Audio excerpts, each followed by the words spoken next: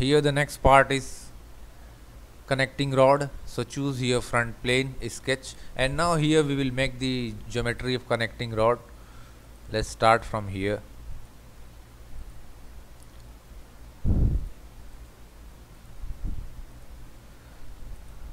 Connect with center line.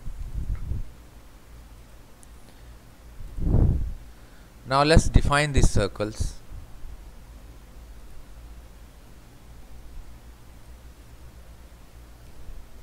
Five point zero six millimeter 2 millimeter. Here also inside keep 1.6 millimeter.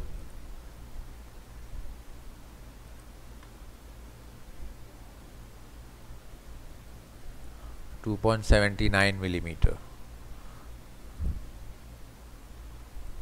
And make the center gap 16 point 13.69 millimeter. Now let's connect with mirror. Now mirror this line against vertical line. Okay. Choose here a straight fillet.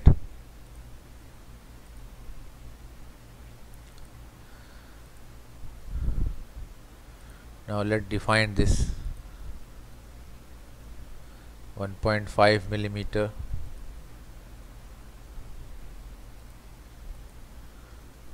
Point five millimeter radius. 3 millimeter.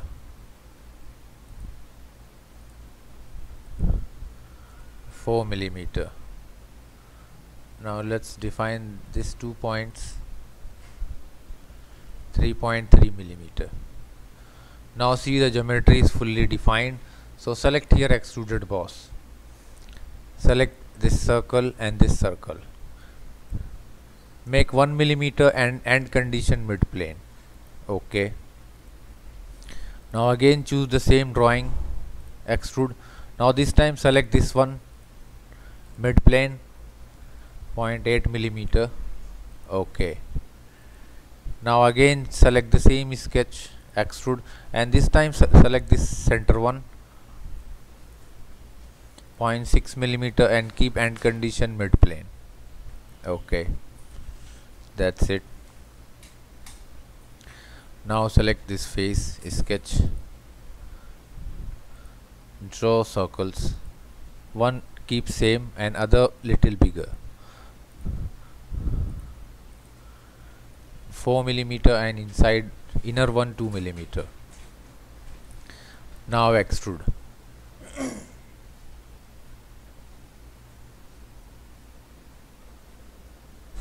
one side 1.5 millimeter and direction 2 keep 2.5 millimeter. Okay. That's it. Again choose front plane sketch. And here select center point arc.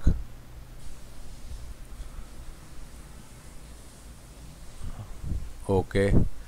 Again draw one more exit. Both the points horizontal here also horizontal. Choose the line.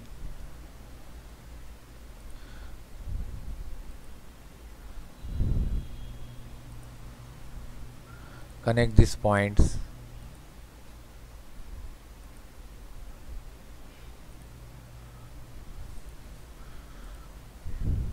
let's define this gap. 3.2 millimeter. Let's make radius.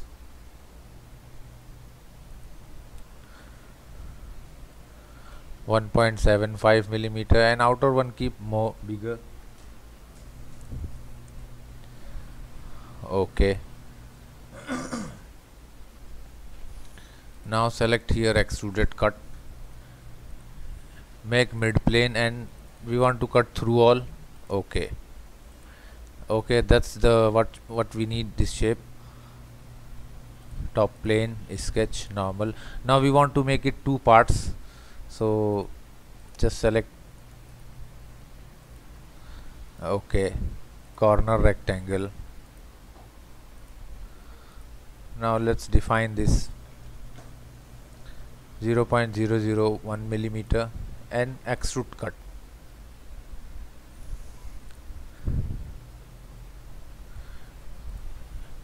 Mid plane select ok. It will ask you all body ok. That's it.